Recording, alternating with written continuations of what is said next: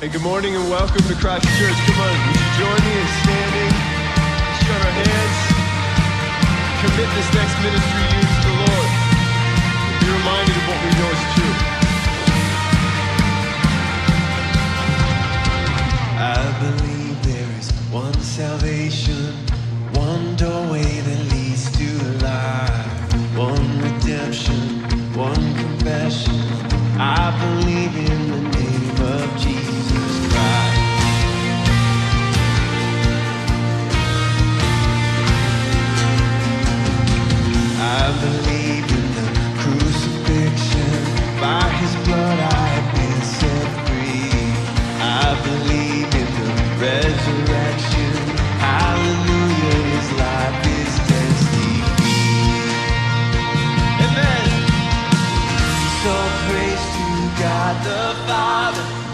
All praise to Christ the Son. All praise to the Holy Spirit. Our God has overcome the King who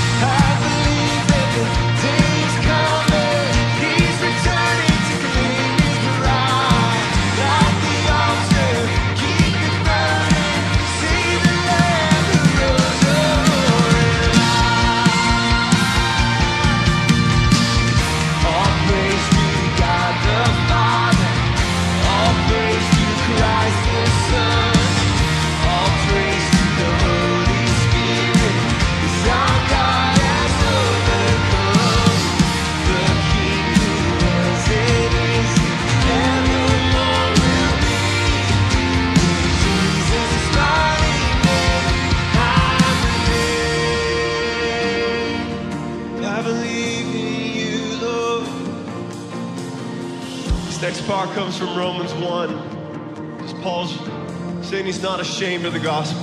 I'll never be ashamed of the gospel of Jesus Christ. Sing it out. How could I ever walk away from the one who saved my life? No.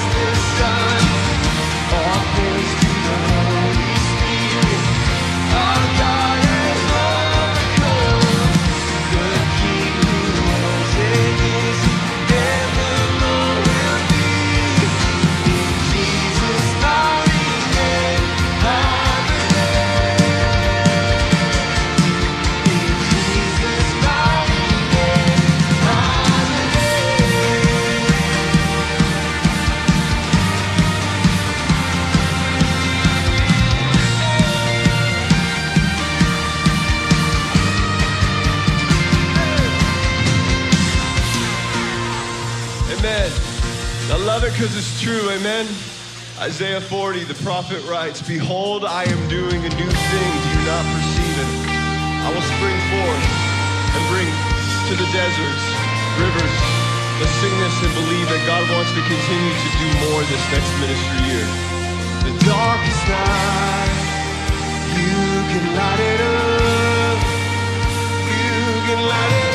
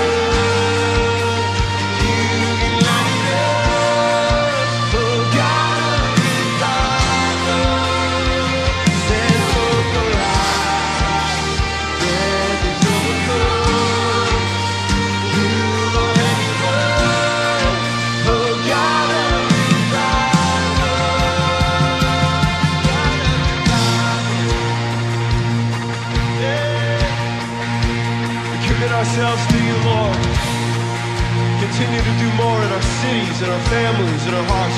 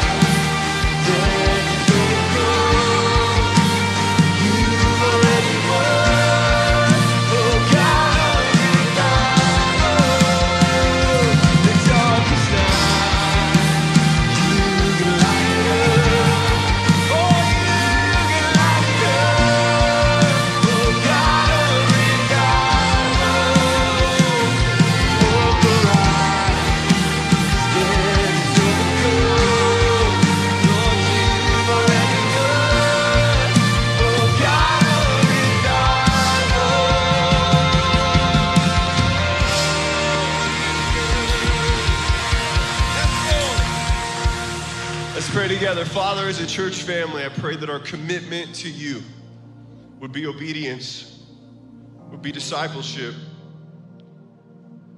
would be an unwavering commitment to the mission in which you've called us to. I pray our commitment to you this next ministry year would be an expectation of what we've just sung, that revival will take place in our gatherings. Young men and women, old men and women, come to know the saving reality of Jesus Christ as a Savior and King. We pray that you would move in power in our midst, that you would show us again your kindness and your glory, reveal from your word weekend after weekend your truth, and bind our hearts to you, Lord Jesus, we pray until your return. That is our commitment and our prayer. Would you do that, we pray, in Jesus' name. Amen. Amen. May it be so. Let's be seated together. Oh, well, what a blessing it is to be able to come together as a church family and to be able to worship. Uh, man, what a joy. Uh, I feel so much gratitude to be here with all of you this morning. My name is Jeff Mile. I have the privilege of leading our church planting efforts through our church planting arm of Christ Church called Vintage Mission. And it's a blessing to be able to welcome you to our worship services this morning. Church family, as always, want to encourage you to take out your mobile device, uh, scroll up to that app, and get on there and do those couple of things that we ask you to do every single week. Uh, the first one is fill out the communication card. We want to know that you are here. And then, in addition to that, make sure that you share your prayer requests with us. We want to be able to pray with you and come before the throne of grace on your behalf throughout this week. And that's a blessing for us to be able to do. So please, please share those prayer requests with us. Guests, thank you so much for joining with us uh, this weekend at our worship services. It is not lost on us in any way what it feels like to walk into a room where you don't know what's about to happen and you don't know anyone. So, thank you for taking the risk and for being with us this morning. Uh, hopefully, you had the opportunity to meet with our team on the way in at the first time guest tent. And if you did, they handed you a gift. And as a part of that gift, there's a communication card, a connection card. And we'd love to ask you to fill that out. There's a couple ways you can do that. You can scan that QR code on the card, and all that digital information will go directly to our team. Or you can do it the old fashioned way, pen and uh, paper, and drop that in one of our offering boxes on your way out the door this morning. Now, if you're like me, I would have, I would have been like, I ain't going to no first time guest tent. I'm not doing that. And um, if that's you, we still want that opportunity to connect with you this morning. And there's a simple and easy way to do that. On your way out the door, in the middle of our lobby, there's a carpeted area called the Hub. And we'll have some team members there. They'll have lanyards on. They'd love to answer any questions about Christ Church and help you to get connected uh, here with us. Now, this is a big weekend for us, and I'm excited uh, to share a couple of things with you. Uh, the first thing that's really cool about this weekend is we have the opportunity, something near and dear to my heart, to welcome three brand new church planters and their families into our Vintage Mission Training Center for our fall season of training. I'm going to introduce you to them. You see their pictures on the slide on the screen. Uh, they're right here in the front row, minus one. Uh, Brandon Delage, you already know this guy. He and Maddie are going to be planting in the city of Tempe, and next to him is Brian. Brian Holt, his wife Anna, could not be here with us, and they're going to be planting in the south side of Indianapolis in an area called Greenwood. Uh, over in our venue right now is another guy, Hudson, and his wife, Brooklyn, and they're going to be planting in North Phoenix. And what you may not know is in the last four years, Christ Church, through Vintage Mission, has planted 13 churches. We have two more churches that launch this coming fall. Yes. So two more churches. One launches next month in Anthem, Cali- uh, sorry, in Napa, California, and then the next one will launch in December in Anthem. And we're thrilled that these men and their families are now a part of this uh, with us. So we would ask you, please. Pray for them, encourage them as you see them around here for the next five months. Interact with them and support them in every way you can because they're going to plant brand new gospel outposts where people's lives are going to be changed for all of eternity. So be in prayer and be in support of them. Here's the second thing about this weekend. Uh, it's the brand new start of our ministry season for the year. And our theme this year is united. And we are excited and expectant for all that God is going to do in our midst. Here at Christ Church, we are committed to living in a way that clearly demonstrates the goodness, grace, and glory of God revealed in Jesus Christ. Our mission is to make disciples by loving God and by loving one another. This mission is the foundation for every ministry at Christ Church, and we are unashamed of our commitment to be united in Jesus Christ, united in discipleship, united in love, united in prayer, and united in our collective mission to honor the Lord our God. Although we are an ordinary people, we worship an extraordinary God, and our church represents the unification of believers and followers of Jesus Christ. As we unite as one church across multiple locations and through all ministries, we are eternally blessed by what the Lord has done here at Christ Church and in the hearts and minds of our various congregations, team members, and ministry staff.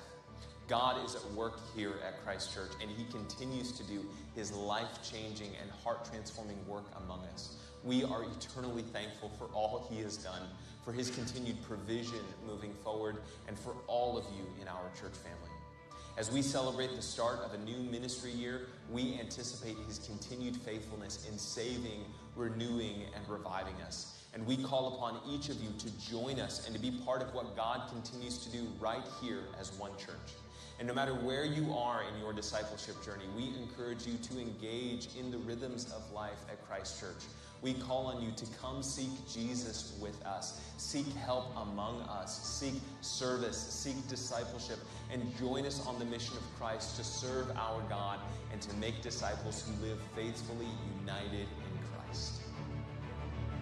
As soon as I was saved, I started looking for a church.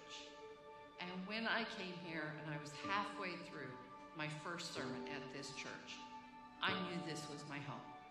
This is what I was looking for. I wanted preaching from the Bible because I didn't have that knowledge base. I had never opened the Bible, I'd never read the Bible, and I also knew I had no knowledge. The first time I went to Christ Church, the first month really, I would kind of sneak in and, and sneak out. And then um, one day I went in there on Sunday and I kind of felt convicted afterwards to uh, have a couple pray for me. My friend told my husband and I about Christ Church. We were struggling trying to find the right church, and she said they read the, the Bible line by line, verse by verse, and they don't try to practice anything. They just try to share God's word. Yeah, we're thankful for Christ Church for being the place that we've been fed so much knowledge in the Word and in God, spiritually being able to grow in our lives, you know, that we've never had before. When we went to re-engage, us becoming closer and yeah, the topics and such that we went over and kind of more focusing on how my relationship as well should be with my wife as a husband, I wanted to put God in my life after I repented and asked Him to come into my life. I wanted to put God in my life. Small group has, has been a tool that God's used most in my life. I ended up gaining a church family out of that. I love the studies, obviously, being, you know, a science major. I love studies. But serving is really where I'm finding joy. Sometimes I'm ushering, sometimes I'm doing doors, sometimes I'm greeting.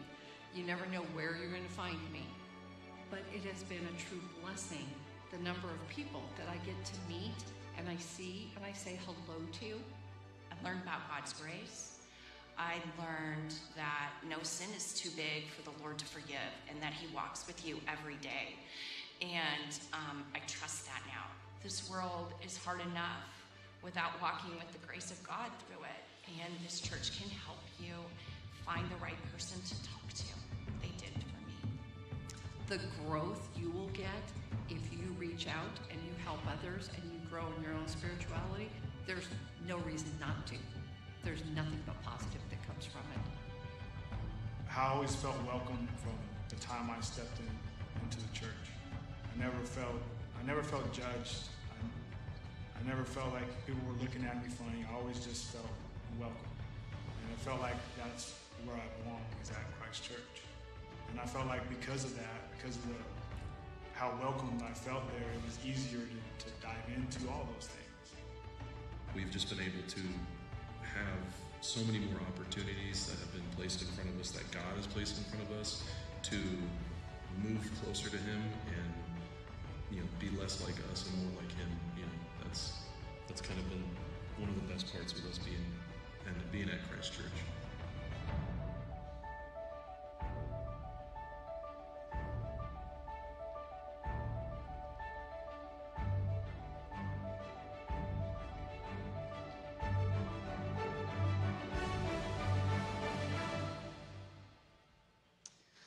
What amazing testimonies, right? How cool it is to see how God is working to transform people's lives. And we believe and are expectant that God is going to do more of that this year, and He wants to do it in your life. That can't happen unless you're connected. So, how do you get connected? What do you need to do to take those next steps? Well, there's two simple ways you can jump on uh, um, our app, and all of the opportunity for you to register for a new study, for a soul care group, to get into a community group. All those are there. You can also talk to our team about serving on a team somewhere else. Uh, throughout the course of the church every single weekend or throughout the different places um, in our ministry throughout the year. So make sure that you look at the app for that. Or today, right after our services, our entire team is going to be waiting in the north side of our lobby to meet you, and they will have all of the answers for you and be able to help you take those next steps into those various rhythms of life here at Christ Church. So don't miss this opportunity to grow together as we are united in a church towards our discipleship this year. Well, as we continue in worship this morning, we have the opportunity to do that through the consecration of our giving.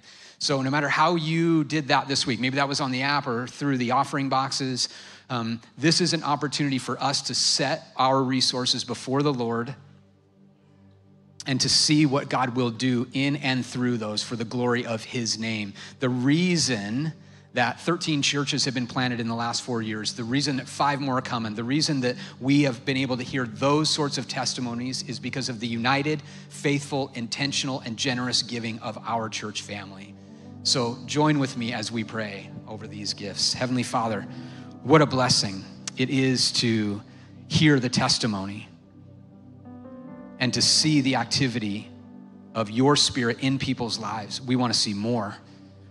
We want to see your glory and your name lifted high. So, would you take these gifts and, in your power and in ways that only you can, would you multiply them for the glory of your kingdom and the glory of your name? And we pray that all in the name of Christ. Amen.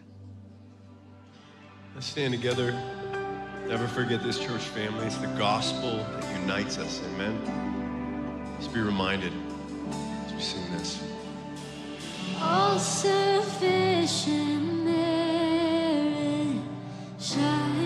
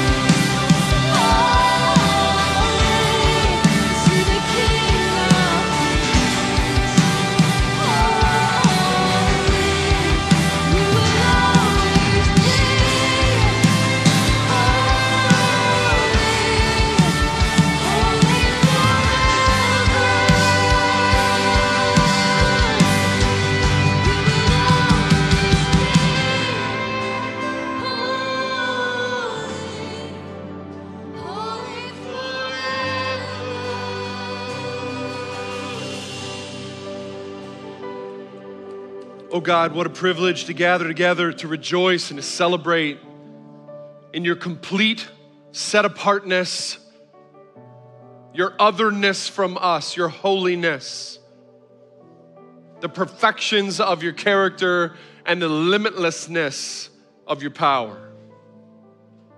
Apart from your grace, we have only cause to dread your holiness for from it you look upon our unholiness. And your justice must come upon our sin, but you have sent your Son while we were still sinners. Christ died for us. You made us sons and daughters. You adopted us fully and freely into your family, and you have made us co inheritors with your Son and our Savior, the Lord Jesus Christ. Jesus, you, we are here for you to have the name above every other name. You have entered our humanity. You have been tempted in every way like us, but never sinned.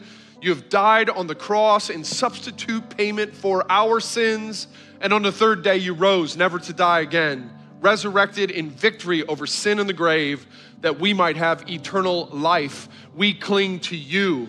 You are our Lord and our Savior and our King. How thankful we are until we see you that your Spirit works in us and among us. So, Spirit of God, we're dependent now, as we have been throughout this time together already, that you would work toward us. As we open the Bible, would you help us to see what we would miss, point out what we might somehow be distracted from seeing, illuminate the Word? Show us what isn't as it should be. Confront us where we're not right. Guide us in the truth. Sanctify us with the word. Make us more like Christ. I pray for comfort and soothing through the word for those who have come with heavy burdens, serious doubts, and difficulties. And then I pray for our friends that are with us that don't know Jesus the way we do, have not yet received that grace that only He can give. I pray, Spirit, that you would draw them to Jesus, show them their own sin, make it all make sense about who they are by birth and by choice, and then run them to Jesus, the only Savior for their soul. We trust you with all of this now. We're eager for you to work. Enable the gift for the proclamation of the Bible, and we'll turn back praise as you do it. We pray all this together as a church family. We pray it in faith expectantly waiting to see what you will do. And we pray boldly, believing it's in keeping with your character and your purposes for this time. So we pray it in Jesus' name. If you can agree with that, can you say amen? Amen. amen. You can be seated. Good to see you, church family. glad to have a bunch of you back in town and getting back in the rhythms with school getting started, and uh, grateful for the opportunity uh, to worship. Thanks for making this a priority in your life this weekend.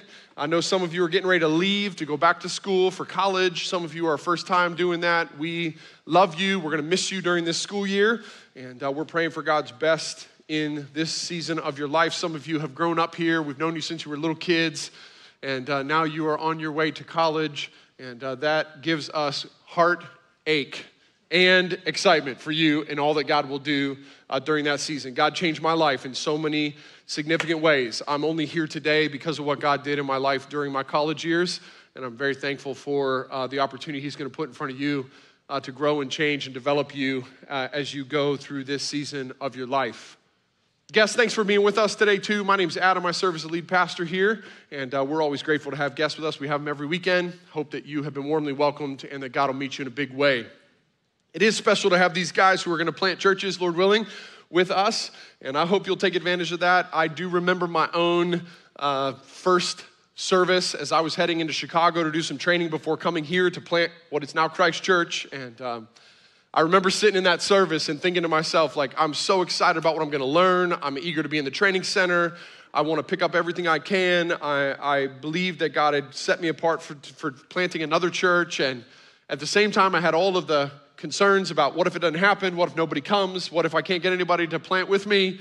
Um, and all of that comes together in this season of their life. So be an encouragement to them as you see them. Go out of your way to introduce yourself to them. They won't remember all your names, but just tell them that you're praying for them and pray for them. Uh, we were sitting in a service, Renee and I were sitting in a service in Chicago. We were getting ready to come to Phoenix. We already knew that at that point. We met another couple just sitting in the worship service, and they said, Where are you all going? And we said, We're going to go plant in Phoenix and they had a house and they gave us their house down here. So that's the standard we're going for with support. Okay? You got a house, you give it up, you got a car, you got piles of cash laying around. Church planters are always in for the cash. Help them out, pray for them, do whatever you can. And I know that God is going to use it in a big way. Man, Vintage Mission is more than just uh, our church planting training. It's actually a partnership of churches. Uh, over 30 churches now are partnered together for church planting. And that means at times that in those partnerships, opportunities are going to come up for our own team. So today, uh, I don't know how many of you know them, but they're serving in the venue, and I wanted to address uh, just address this because they're leaving us. Sean and Sarah Gray have been worship leaders here with us for three years now. It's hard to fathom that it's been that long. And um, God has uh, directed their steps and opened an opportunity with one of our Vintage Mission partner churches back in the DC area in Virginia and uh, they have uh, accepted a call to go there and to be uh, involved in the worship and leadership of that church family. And we could not be more excited. I mean, there's pain in that every time uh, our team is sniped and recruited away from us to go somewhere else.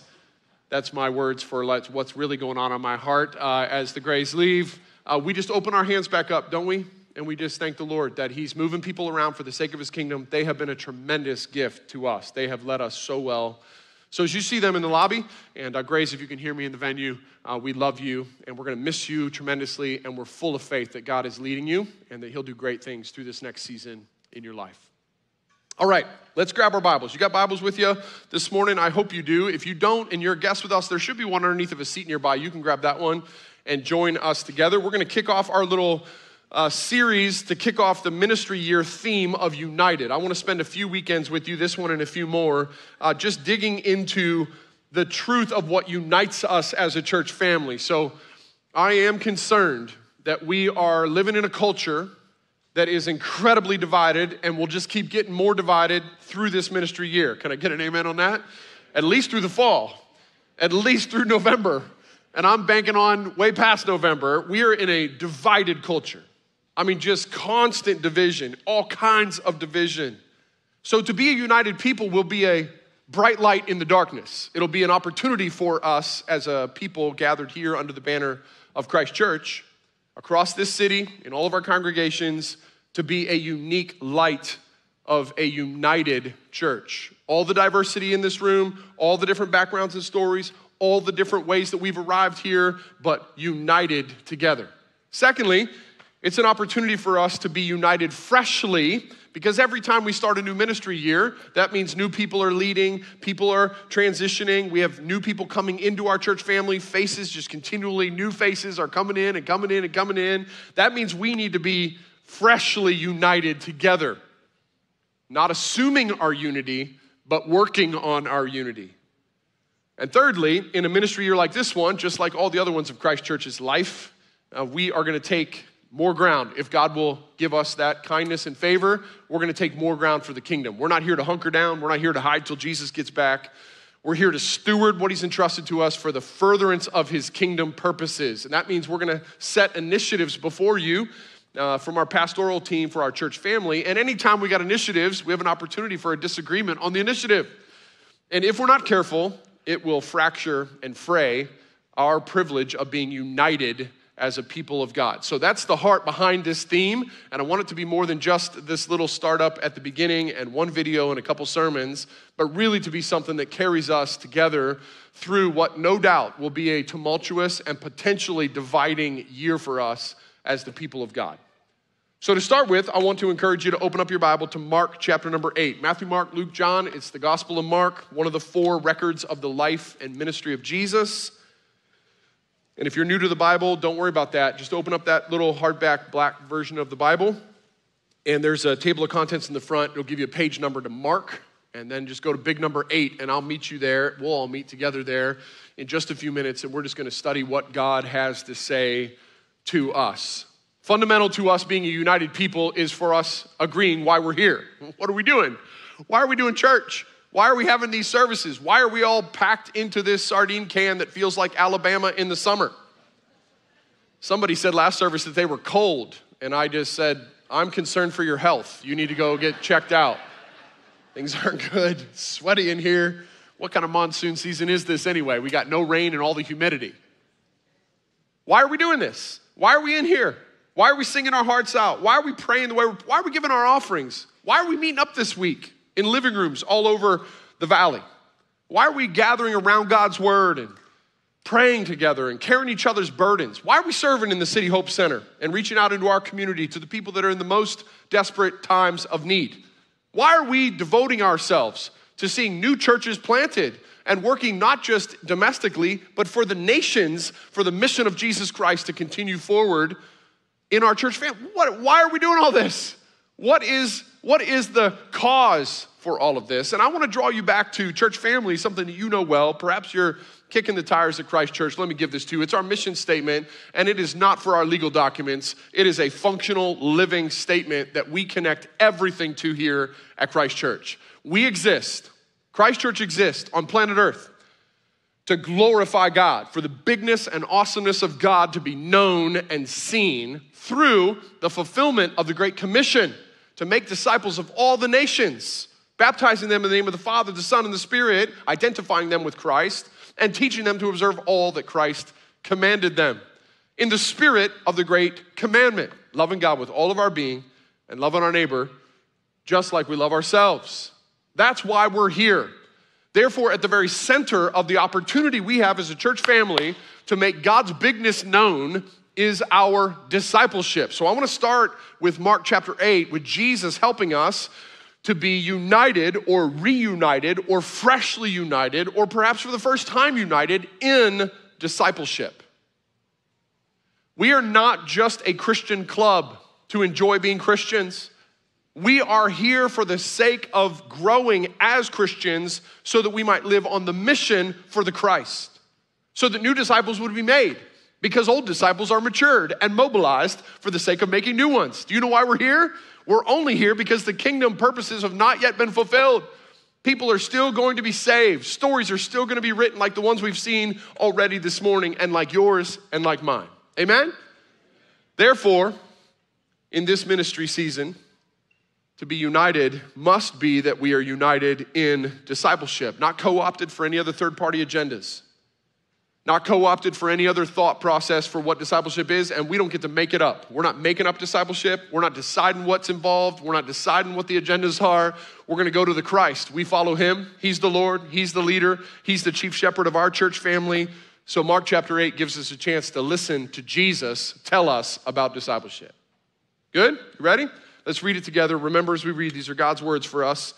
I'll read out loud. You can follow along there in your copy of the Bible. Verse 34 of Mark chapter 8.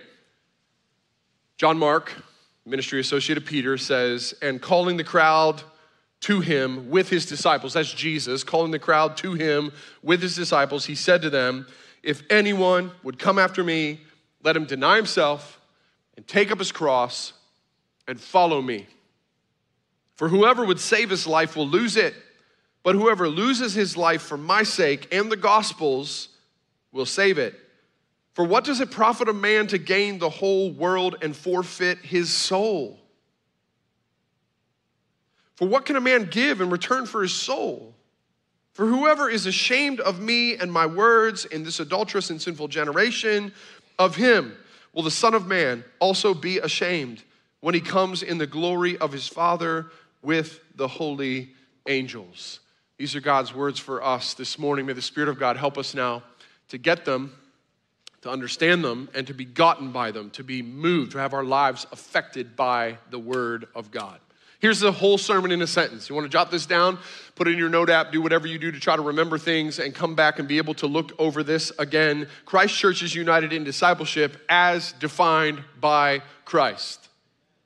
So nobody gets to we don't just get to sit in the uh, discipleship meeting and decide what discipleship is. We have a Savior who defines it for us, we have a leader who we follow. So we're concerned first and foremost with allowing this text to inform the expectations around which we unite in discipleship as a church family. So, how does he define it? Well, there are four markers, four markers of the discipleship that Jesus delivers to us through Mark chapter 8. He delivered it to a very real group of people, and the Spirit of God preserved it. The writing of the record, he superintended as John Mark wrote it and gave it to us for our benefit today as well. So if you're jotting them down, I'm just going to walk right through them. True discipleship is, and it's marked by these four markers. So, number one, we're going to go back to verse 34. True discipleship is obeying his call. It's obeying his call. Jesus begins verse 34 by saying, If anyone would come after me. So he's called the crowd. There's a delineation there, isn't there? He's called the crowd. He's called his disciples. And he says, If anyone would come after me, which establishes the conversation is about discipleship, it's about following Jesus. And the reason for that is pretty profound. I, I don't have time to dig all the way through Mark 8 with you, but if you know anything about the New Testament, one of Jesus' disciples' name was Peter, and Peter was known for his mouth. And in Mark chapter 8, Peter has one of the shining moments of his mouth. Jesus says, Who do people say that I am? And the disciples kind of tell him, People have this opinion about you. This is who they think you are. And then he says to them, Who do you say that I am? And he says a plural to all of his disciples, the 12 of them that are there, Who do you say that I am? And just like Peter, Peter thinks that when Jesus asks a question of everybody, he's the one who needs to give the answer. So Peter has his greatest moment. He says, You are the Christ, you're the Messiah, and you're the Son of the living God the eternal, uncreated Son of God who's taken on human flesh to save sinners from their sin. And Jesus says to him, You're right. And you didn't come up with that, Peter. You're not that smart. The Father delivered that to you. And there in that shining moment, Peter has answered according to the revelation of the Father about the Son, the Messiah and Savior of our souls. But the high moment for his mouth lasts about 10 seconds because it's followed up with Jesus making sure they know what his messianic ministry will be. How is he going to be the Messiah? Is he going to come? Is he going to kick butt, take names, and establish his kingdom? Yes, he is, but not until he has died and made a sacrifice for his people. So he tells him he's going to die, he's going to suffer and die. And Peter can't help himself. That's not his idea of messianic ministry. So he says, That is not going to happen. Oh, Peter. Like, I think the disciples were kind of like, at the first moment when he says, You're the Christ, the Son of the living God, they're like, We're with Peter. Yes. And then, as Peter says the next thing, Jesus delivers one of the most painful rebukes he ever gives. What does he say to Peter? He says, Peter, get behind me, Satan. He calls him Satan. He went from being the highest, I think when he said that, you know, the disciples are kind of like backing up, like, I don't, he, he, that's him. He, he had that perspective. That's what's going on here. There's confusion about discipleship. There's confusion about the Messiah. And Jesus calls everybody in. The crowd that was there observing, he calls them in. The disciples, he calls them in. And he drops on them three commands. Here's what it's going to be to be a disciple it's going to be obeying his call. The three commands are right there in verse 34. The first command is deny, the second command is take up, the third command is follow. The first command is a, is a point in time, it's the way your life works. To be a disciple of Jesus Christ, to place your faith in Christ, to have your eyes open that He's the only Savior for your soul, to place your confidence in His work for you, His sufficient merit, His good works, His sacrificial death, His glorious resurrection, results in a denial of self. Life is not about me and mine anymore. It's denial of self. It's the end of me being the autonomous Lord of my own existence and king of my own kingdom. I'm not in this for me. I'm not in this for my name. I'm no longer living my life as if I'm, I'm on my own category of authority. I submit to Christ. That's the first command. Second command in his call is take up. And he says, deny himself and take up his cross. Now, I know that doesn't hit us the way it hit them. I'm sure of it. Because there were no cross tattoos in the crowd or the disciples that were listening to Jesus. Nobody had a cross hanging around their neck or dangling from their ear.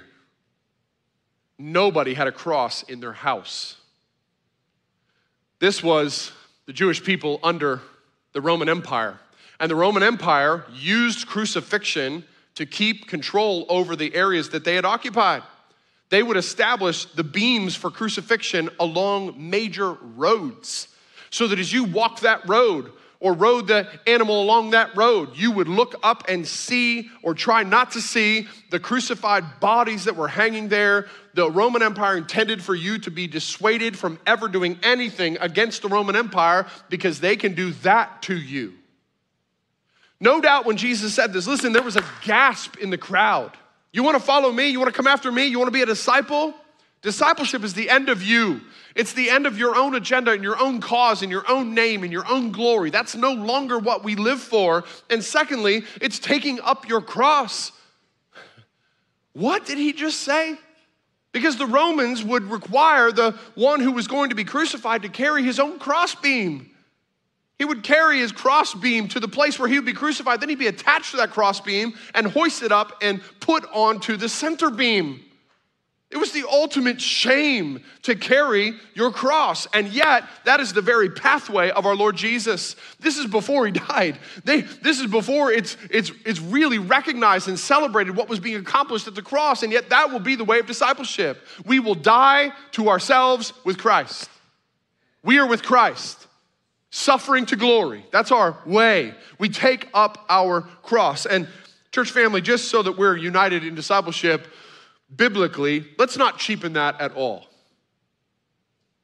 Let's not cheapen that to some lesser thing. Sometimes you hear somebody who's got food allergies or got some condition they're working through, arthritis is back. They're on some crazy diet, they're a little ashamed of what they're ordering at the restaurant, and they look over at you and they say, well, everybody's got their cross to bear.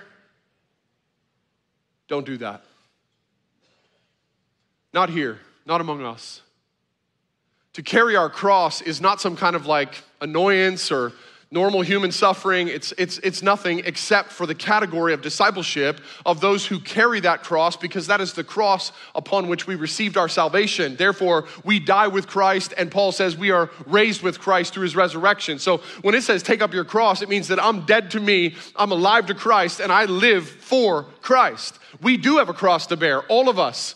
It is the glorious good news of the gospel that at that cross, our sins were paid for in full, and we received a full and free redemption and salvation for our souls. Amen?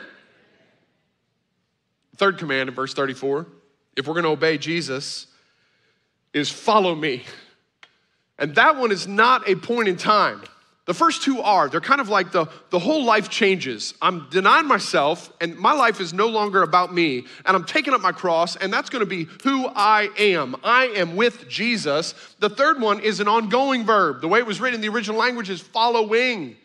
Follow after and keep following me. This is just our daily life. We just get up again and follow Jesus. I mean, remember those games when we were kids? Simon says, one of the cruelest games, because when you mess up, you just get mocked every time. I mean, your gym teacher would just point it out, call you by name, and be like, well, there's the idiot. Did it again. Patted his head. He's supposed to rub his stomach. Remember Follow the Leader? That's got to be one of the dumbest games ever. I remember in my childhood saying, how do you win this game? Like, what are we doing? Can I? I wanted to combine Follow the Leader with King of the Hill. Okay? I want to become the leader, so I'm going to take out everybody in between me and the leader as we follow. That would have been a game worth playing.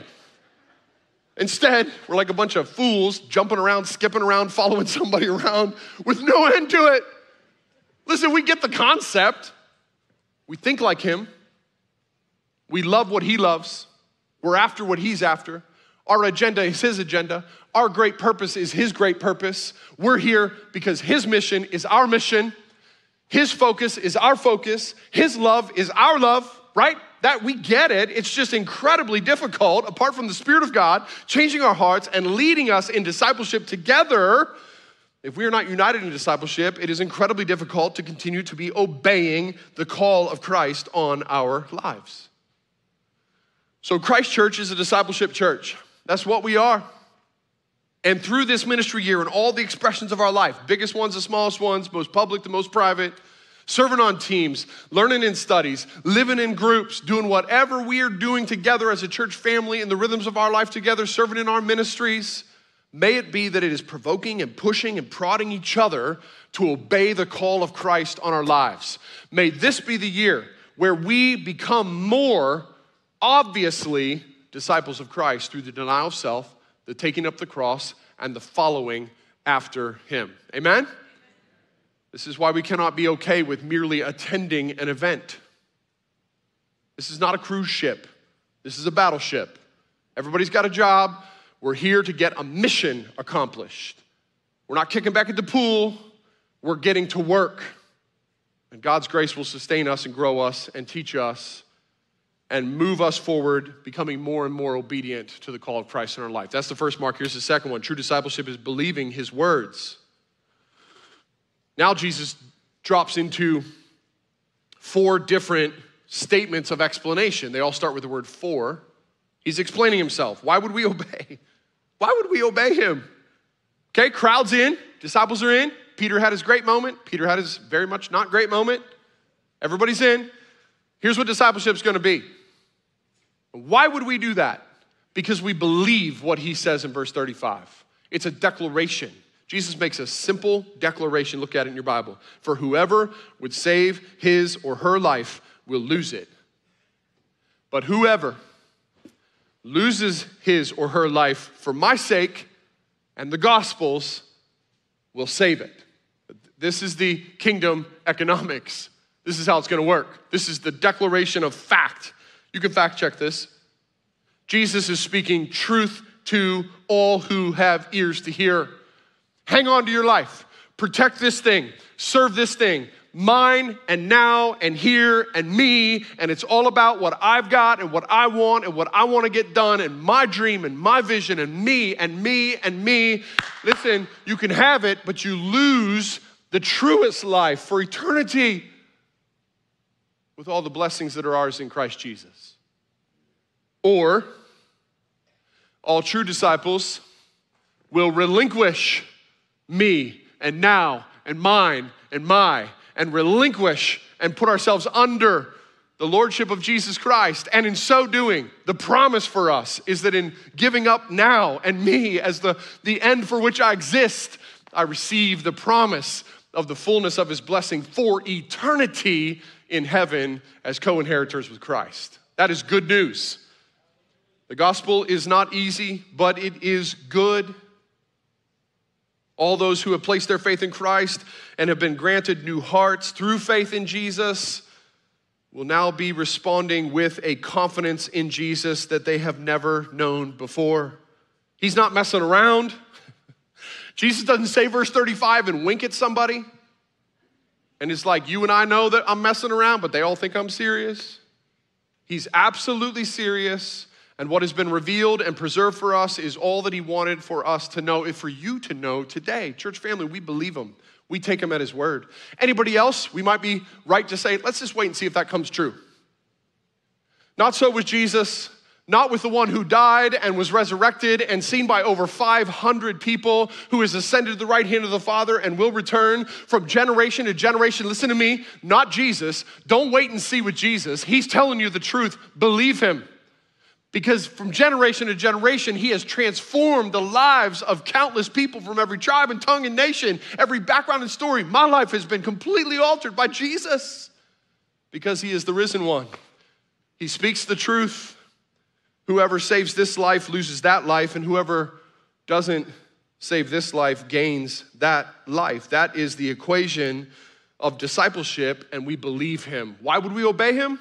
Because we believe him. Friend, perhaps you've never trusted Jesus. You're in the crowd. I mean, you like Jesus at some level, you're familiar with them, you've got some blessings from being around people who follow him. Let me encourage you that if you just keep living for this life and for you and for now, there is a dire eternal consequence that comes with it. So this week, as we live our lives, not just in this gathering, but in our scattered life together, as we continue to be Christ Church in this community, we are united in our discipleship, pressing one another, helping one another, encouraging one another to believe the words of Christ.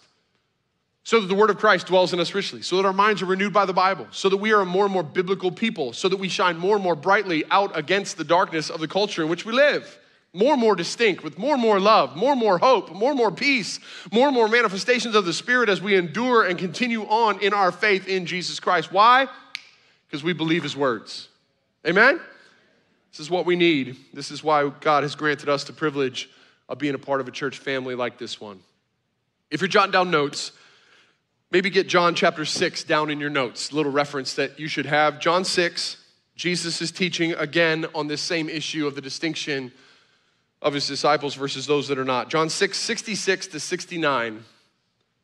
6, 66 to 69, and then chapter 8, verse 31 and 32. Both of those places, Jesus speaks directly to this same issue.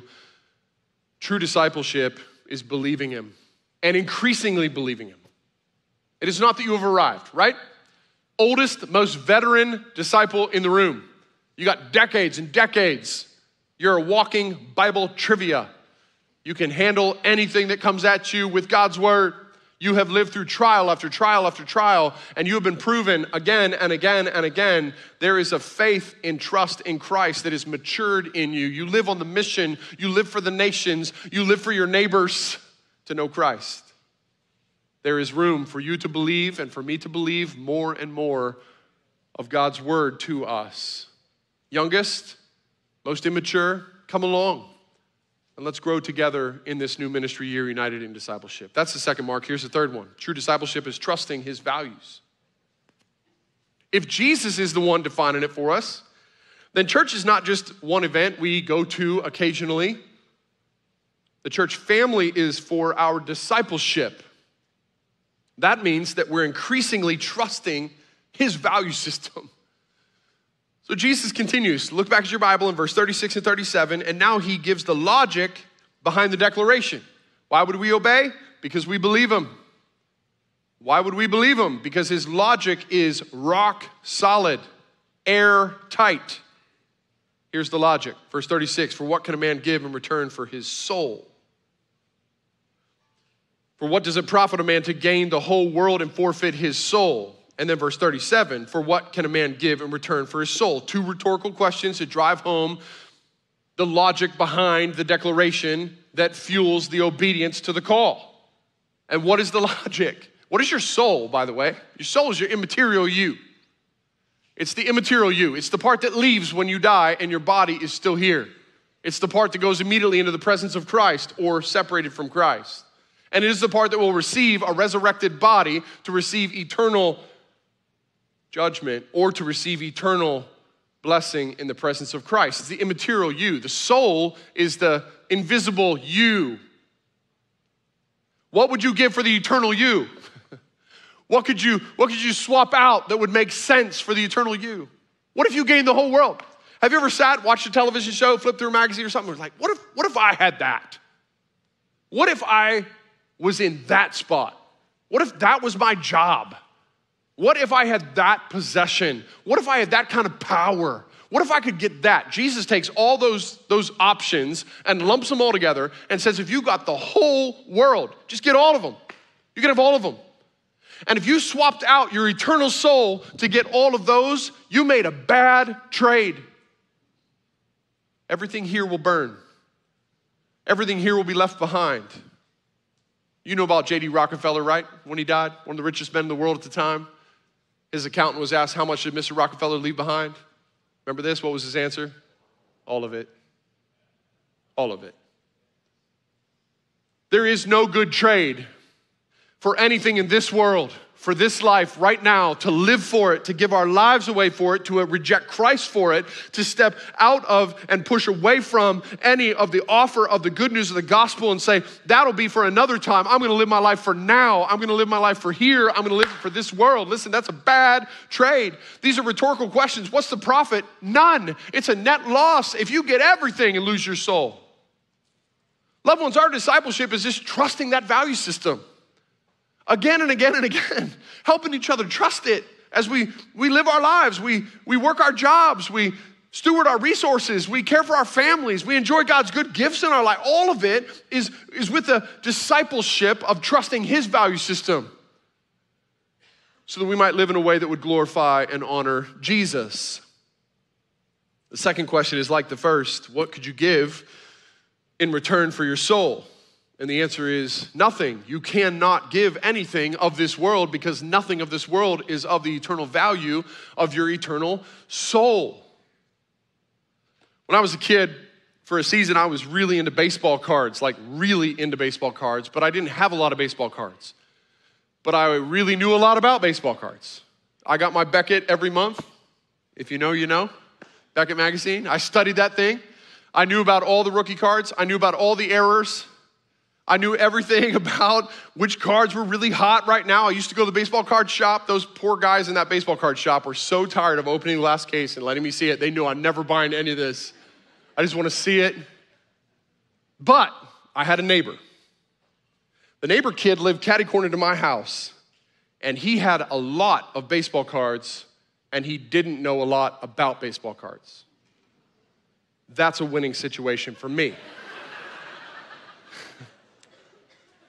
So, I mean, I ripped that kid off. I've wiped his name from my memory. I don't remember his name somewhere in there, I got really excited about it, and I told my dad that I'd gotten some new baseball cards. And I showed my dad the cards, and my dad knew enough about the cards as he looked through the cards. He's like, man, these are really, these are really, where did you get these? And I said, I traded for them with that kid across the street. And the way he looked at me, I knew this was not going to end well for me. And he was like, What did you trade for these? And uh, I was like, Mostly like one for one. He's like, What? You did one for one trades? Anyway, the kid got his cards back, and uh, all I want you to know is anything, anything that you would say, I set aside Christ and his work for my soul so I can have this, is a very, very bad trade. So, Mark 8 is in our Bible, church family, because it will be a battle this ministry year for us to keep living in the values of the kingdom it's upside down. We don't live for now. We enjoy the good gifts now. We steward the resources now. We have the relationships now. We work these jobs now, but we are not for now. We're living for then. And we have a whole life that has been built on a value system that is completely otherworldly. Understand? So, our discipleship, we're gonna be united. It's not just that Christians know each other. That's not discipleship. Discipleship is Christians who spur one another on to obey his call, to believe his word, and to trust his values. We give ourselves away, we give our stuff away. We enjoy life as a temporary good gift from the giver of all the good gifts. With gratitude in our hearts, we crush and seek to kill envy and greed and discontentment and covetousness in us. We seek to root out the subtle confidence in ourselves and in our wealth. We fight off entitlement and elitism that m- people with more are better, and favoritism, which seeks to get close to people we perceive to be better because they have more, and elevation of any cultural values. Listen, the value system of the burbs out here is not worth living for. We're here, we're a part of this community. We enjoy many of the blessings of the suburbs. And I love the blessings of the suburbs, but they're not worth living for. The American dream is not worth living for if it is in forfeiture of your soul. That's the value system of Jesus. And discipleship is trusting those values more and more and more through our life in the way we live. Get that? You tracking with me? Thumbs up if you're tracking with me. Okay. Let's go to the fourth one and we'll be done. Last one. True discipleship is defending his cause. One more for statement. This one brings the conclusion of it all and the outcome. For whoever is ashamed of me and my words in this adulterous and sinful generation, I think it's metaphorical, the unfaithful generation in which they were existing and we are still existing, of him will the Son of Man also be ashamed when he comes in the glory of his Father with the angels. And listen, that's talking about Matthew chapter 24, verse 29 to 31. We're talking about the end. We're talking about the trumpet sound, the voice of the archangel. Jesus comes back and establishes everything, he judges the living and the dead. And on the day of judgment, those who have been true disciples, who have had their hearts transformed, who have lived their lives progressively obeying the call of Christ, believing his word, trusting his values, and have stood for Christ, have defended his cause, will receive then the eternal reward. He will claim us. But he issues this warning. Perhaps you've been around Christ, you have known of Christ, perhaps you've even identified with Christ, but you are not a disciple of Christ. You have not obeyed his call to deny yourself, take up your cross, and follow him. You do not believe his words, and you live it out, and you do not trust his values because you live on an entirely cultural value system. And therefore, when you are shamed for Christ, you are ashamed of Christ. Jesus promises that the day of judgment will be devastating for those who are ashamed of him. That's the outcome. Loved ones, we will be shamed for Jesus. No doubt about it. Opposition is rising and will continue to rise. Most of our brothers and sisters in the world know more about this than we could ever imagine. Most of our brothers and sisters in the world do not have to be told that we will be shamed for the cause of Christ. Only us in the West are shocked when we're shamed for our walk with Jesus Christ. So remember Mark 8, as we live our life together as a church family, united in discipleship, we are united to help one another, to bolster confidence in one another, to hold one another up, to defend the cause of Jesus Christ and his good news of the gospel, no matter the cost. Shamed, but not ashamed. All of us have some impenetrable loyalties. People can make fun of you all they want, it won't change a thing. And you will smile right back at them and you will tell them, I have them. Some of you have been here long enough to know what mine are. I have athletic teams that you can mock, and you can't rattle me. Self control happening right now, right now. Not saying anything. But I'm concerned that when the name of Christ is on the line and I will suffer for it, I'm concerned that without discipleship in my life, without you in my life, without us together united in discipleship, I will be ashamed of my Christ and I will fail the call of my discipleship. And perhaps that's what you're thinking. What if we fail? Perhaps you're thinking, I've already failed. I must be on the out. This is it. Perhaps you are, if you have in fact rejected Jesus. But let me remind you of who wrote this. Do you know who wrote Mark chapter 8? It's a guy named John Mark. If you're trying to think of the 12 disciples and you're like, which one was John Mark? He's not one of the 12 disciples. He's the personal associate in ministry of the apostle Peter. Peter, who just had his shining moment and then his mouth got him called Satan. Peter, who had heard this teaching in Caesarea Philippi and who not long from this point would say, I don't know who he is. I don't know who he is. I swear to you, I don't know who he is. So if you're still taking notes, jot down John chapter 21. We all need it. John chapter 21, verse 15 through 29, reminds us that God is a gracious, restoring, God, the Lord Jesus met Peter along the shore of the lake and he restored Peter. Peter did not persist in his denial of Christ. He did not go on in being ashamed of Christ. Though he had failed, he was restored, and so must we be restored when we fail. John 21, 15 to 29 refresh your memory. The Apostle Paul, Philippians 1 and verse 6. He who began a good work in you will bring it to completion. Paul said, I'm not ashamed of the gospel of Christ, Romans 1 16. I'm not ashamed of the one who started this and will finish it, 2 Timothy 1 12. May it be that we become a people, because we're united in discipleship here, under the definition of discipleship that Jesus gives, that we become a people who are helping one another obey the call on our life of disciples more and more, believing the word of Christ more and more, and it influencing our lives, trusting his values, and then holding one another up, holding the line. Think back to Red Rover, Red Rover, send whoever over, linking our arms together to defend the cause of Christ and his gospel, even if it costs us our lives. For we have not traded in our souls for this present world. Take our lives, and you are threatening us with glory forever. Amen?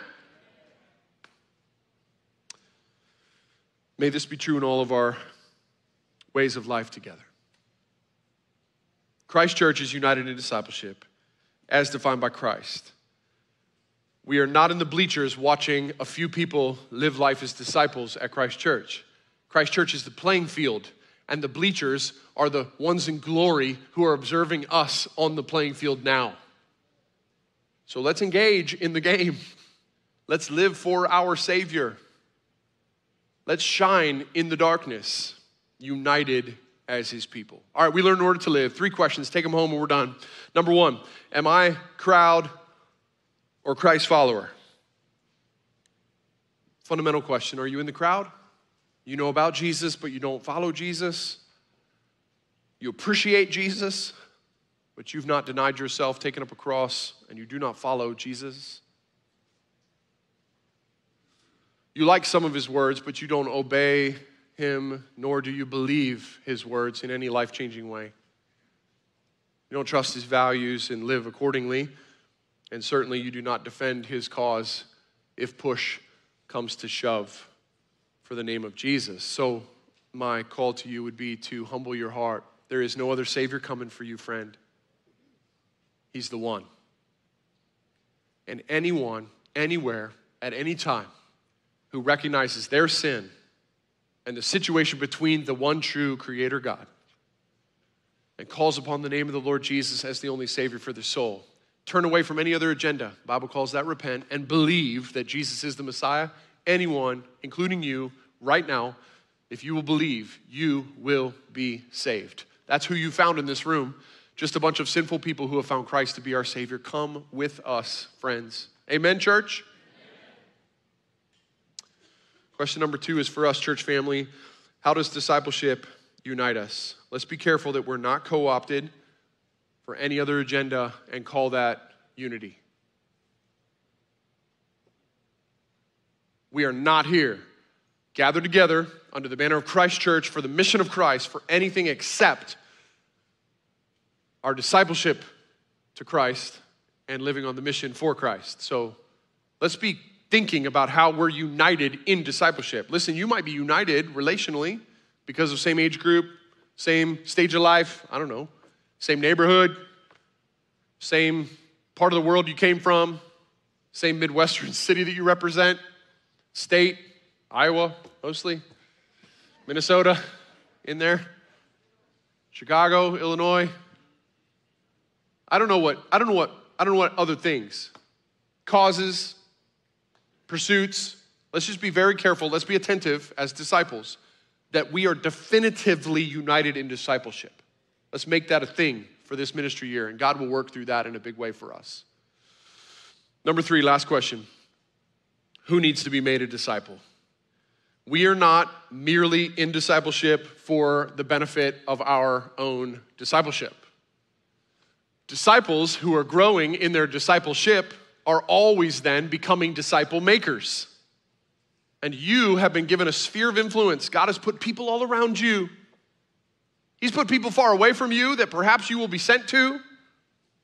We've been praying for some of you to go to the nations, to go to the hardest places where you know no one, but you come for the name of Jesus Christ to be known amongst those peoples.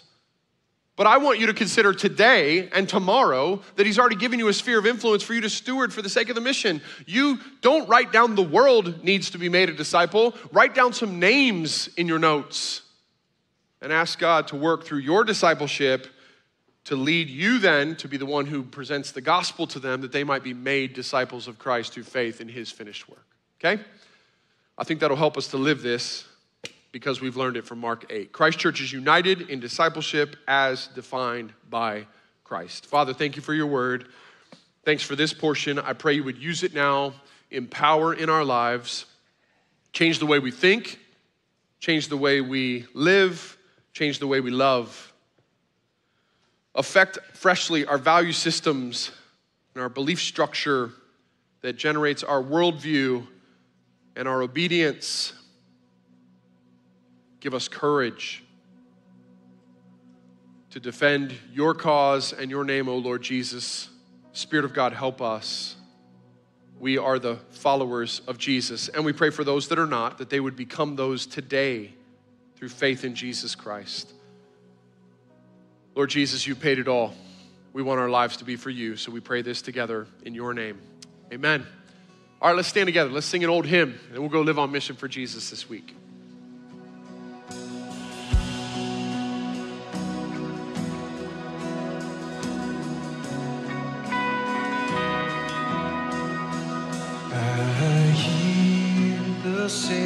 say thy strength indeed is small.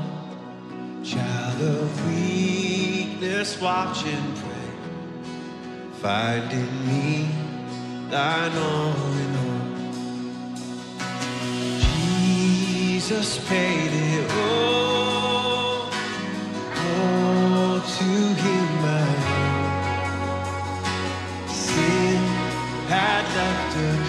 Crimson